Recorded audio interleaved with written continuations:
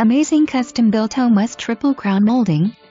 4762 square feet on .92 air conditioner.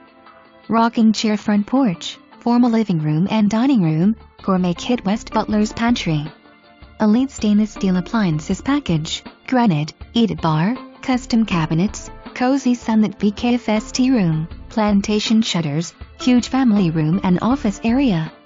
HRDWDS, tile. Grandmaster NCYWOW. Spacious BRMS West walk-in closets. Flex room, oversized garage West epoxy floors. Wycrawl, security system cameras convey. Deck allowance.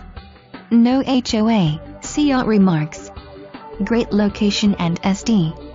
You will not be disappointed. Show.